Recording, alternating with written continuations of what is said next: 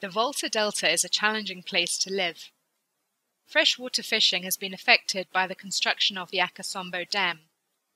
Whilst essential to create electricity, the dam blocks the downstream movement of fish, and the regulation of stream flow reduces flooding, which used to increase the productivity of fishing.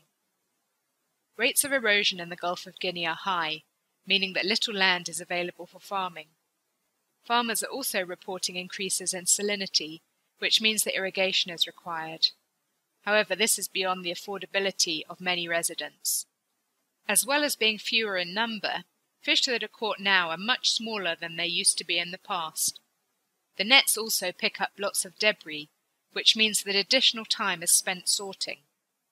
With challenges facing farming and fishing, delta inhabitants have to look elsewhere for alternative source of livelihoods. Men and women in Anyanui are also turning to the cultivation of mangrove as an alternative livelihood activity. Mangrove stems and roots are used as fuelwood by homes and is preferred by fishmongers for smoking fish. The Wildlife Division of the Forestry Commission, located in Anloga, is supporting mangrove farmers by teaching good cultivation practices and raising healthy seedlings for them. In processing the mangrove for the market, the roots and stem are cut dried for three months, and made into bundles ready for transportation. The mangrove bundles are carefully loaded onto boats and transported via the river to the mangrove market at Anyanui. At the shores of Anyanui, the wood is offloaded from the canoes and onto the ground where traders buy it for resale in other locations. The mangrove wood is used for various purposes. Some is sold as firewood to fishmongers.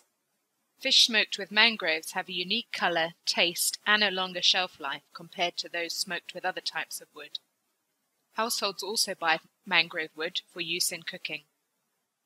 Whilst mangroves are proving crucial to people's livelihoods in the Delta, they also perform an important environmental function and so must be managed sustainably.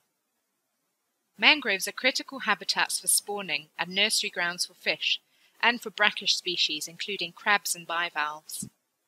Mangroves also play key roles in stabilizing shorelines and reducing coastal erosion, which is a critical issue in the Volta Delta, and one that is likely to become worse with sea level rise associated with climate change. To ensure that mangroves are used sustainably, the Wildlife Division of the Forestry Commission is providing seedlings and helping communities in Keta municipality to plant mangroves and nurture them until they mature and are ready for harvesting. If planted mangroves are harvested, then the naturally occurring ones can be protected to perform the environmental functions of shoreline stabilization and biodiversity conservation.